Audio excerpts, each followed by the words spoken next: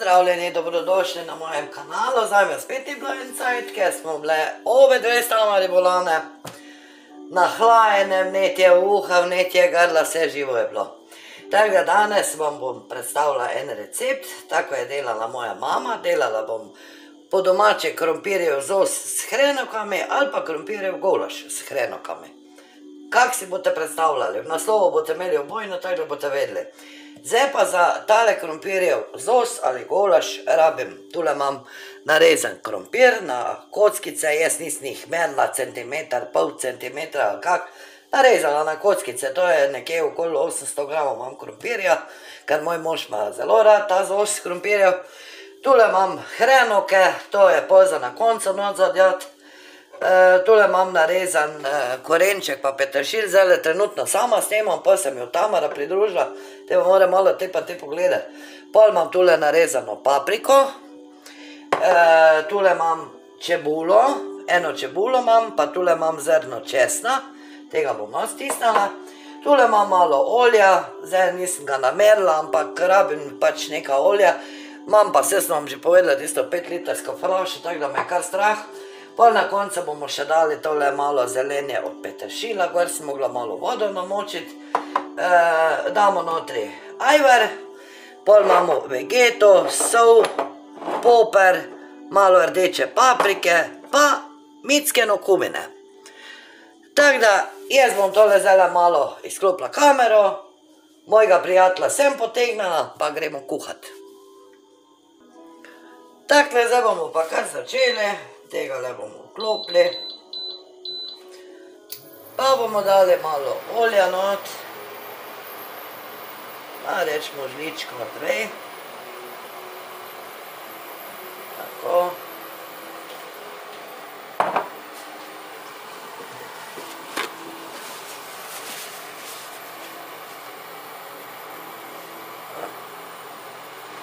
Tak, pa bomo pa dali čebulo.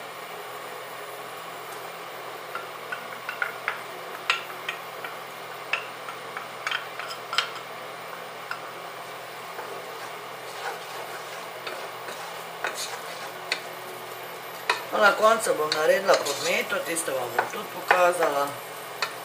Ne bom delala po domače prajnik ali pa prežgala moko, ampak bom samo podmetla za moko. Da bo malo bolj gosto, zdaj bomo videli, koliko gostote bo krompir naredil. Tako. Zdaj pa jaz iščem mojega stiskača za česen.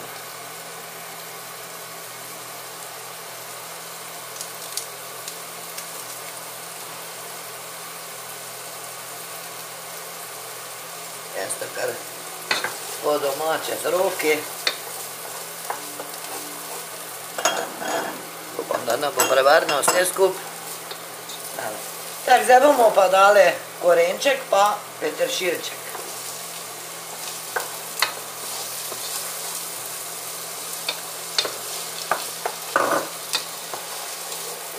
Malo mora tole omehčati, pol bomo pa dali krompir. Zdaj bom pa jaz tole malo dala vegete not.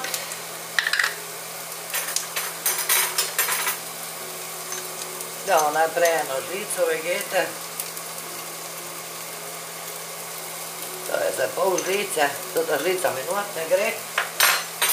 Eh, korička, baba štora sta pravi. Takle. Zdaj pa ena žlica.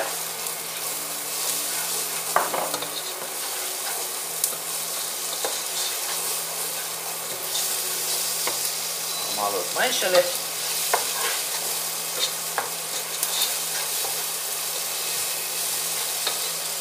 Še le malo zmanjšamo. Da se tole počasi prvo. Na enih pet minut. Tako. Zdaj pa malo posolili še, pa še bomo tako na konci videli, koliko je okuske, pa še bomo kaj dodali, če bo treba.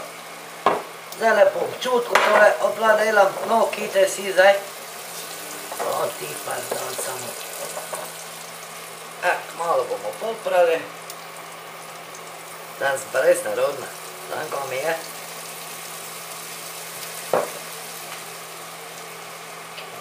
tako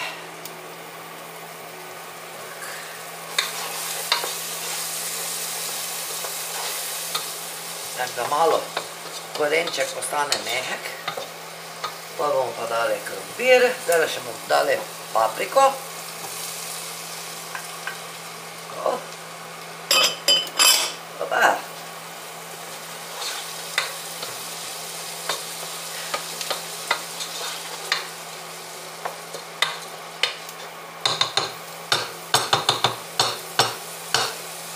Zdaj zdaj bomo malo dol pokrili. Pa malo počakali. Takle, zdaj bomo pa dali krompir not. A ja, Ja, zdaj ja. vidite, Tamara je nazaj prišla. Mhm. No, ker že snema no to lonec. Lonec, ja. Tak, ja, vidiš. Da se vidi, Da se vidi, naj se vidi, naj se ve. krompir se dal not, ne? Krompir se ravno. Tak, zdaj bomo pa dali malo kumine. Tak je moja mama delala, zdaj pa eni delajo drugače. Moja mama je tak naredila. Tak, ta je čist, rečemo pol žličke kumne. Bo dovolj. Tako, čisto si malo kumine. Zdaj bomo pa dali rdečo papriko. To bom dala eno žlico. Evo ja. Rdečo papriko. No, poštarjo. Zdaj pa samo malo ti kamerman, zdaj pa jaz rabim ajver. Pa žlico. Imam jaz vse. Bomo premešali. Pazi tam kamera, daš Ja. prejšnja. Tak, zdaj bomo pa dali ajver. Tega bom jaz dala dve žlici. Tako. Ajver, tako kar not mi pospraviš, ljubica. Na, pazi. Takle, zdaj bomo pa tole malo premešali. Pa pustili pokrito ene 10 minut. Pol bomo pa nalili liter vroče vode. Pa pa, če se spovreje, se še zraven doliva malo vode. Malo bomo probali, če je to dosti Slano. slano. Ja. Pa bo zelo dobro. Pa bo zelo dobro, pol na Odlično. koncu bomo pa še hrenovke narezali na krogece, pa bomo dali zraven. Pazi, da te nosi skupaj. Da se Da držim. to, Ne, to ne. kamero, no to bo pisk. Ne bo, ne bo, nič ti ne skrbi, si se že znašla. A si se znajdla, o, fino. Tak, zdaj pa tole dol pokrijemo, Pa se javimo nazaj. pa se javimo, eh, viš, da veš, javimo nazaj, te pa zdaj sklopi počasi. Tak, zdaj da bomo pa nalili vodo, pa bomo pokrili dol, malo bomo probali, če še treba kaj začiniti. E, zdaj jaz govorim, Vem, sem pozabila. jaz si kot taka mlada papiga zravno. Pred. Veš, se bomo počasi začeli, da boš tako papiga ponavljala. Takle, zdaj bomo pa tole pokrili, za cajt bom jaz probala, koliko še je treba sole dati, no, pa popra. Vidi se. Se vidi, fino. Tak, se javim nazaj. Takle krompir je kuhan, zdaj ga bom pa jaz samo malo zmučkala. Malo, ne dosti.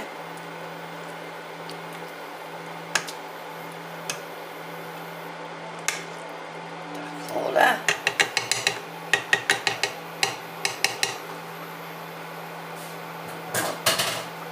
Pa bomo dali hrenovke not. Tako.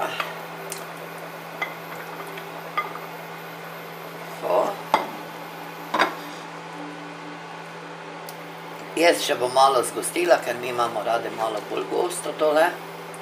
Malo sem še solila, eh, pa malo poprala. Eh, Tako zdaj bom pa jaz še razgostila, vam bom pokazala. Tako, tule imam zdaj eno žlico moke, pa bom dala samo malo vode. Da mislim, da se vidi, kaj delam, ja, vidi se moja roka. Malo vode, premešala.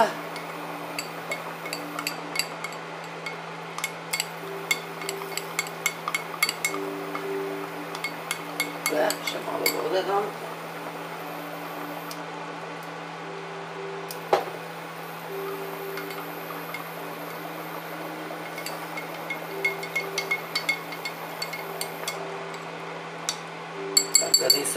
Grudice.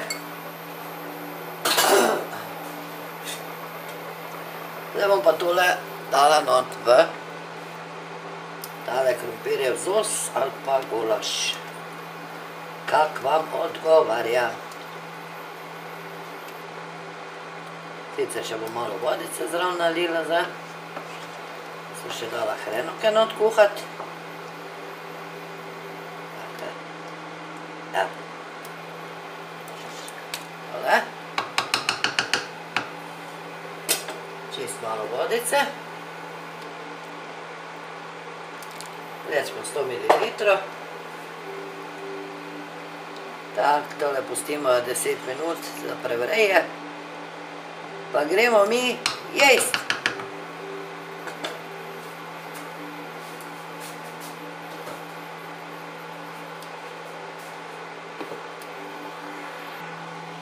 Tako, zdaj pa tole je gotovo. Jaz sem že sklopila malo. Damo še malo peteršilčka gor. Tako. Ja, pa me ne bogaš. Malo premešamo. Pa nadevamo. Evo takle, naš zosek je končan. Je bolj gosti, Tamara pravi, meni se pa ne dopade, ker je gost. Zdaj se ga pa jaz tole malo nadevala. Pazi, mož je že prišel vprašati, če bo dobil kaj za jest. Tako, malo bomo še tule potrosli peteršilčka. Pa da se na en kup gre. Naj? Tak, zraven pa lahko date kaki paradajs. Pa če kjer hočeš, kruheca lahko dobi. Tule pa moramo obrisati, ker smo paradajs rezali, da ne bo grdo. Tak, to bi bilo danes tole kosilo. Eh, hvala lepa, ker obiskujete moj kanal, hvala moji kamermanki. Kamerman. K- a kamerman, dobro, ja, ti pa kamerman. Eh, tak, to bi pa zdaj bilo za enkrat vse. Eh, za naslednjo pa delamo sladke Ke- pregriz. kiflice. Kiflice. Kifličke, seveda. Tako, tako tole zdaj zgleda. Čakajte, da mi je slunce Ja, odpadlo. tebe pajtle sem Mene spuščena. pajtla, tebe pa še bolj. Tak, hvala lepa, kak rečemo. Obiščite še naš kanal. Adijo.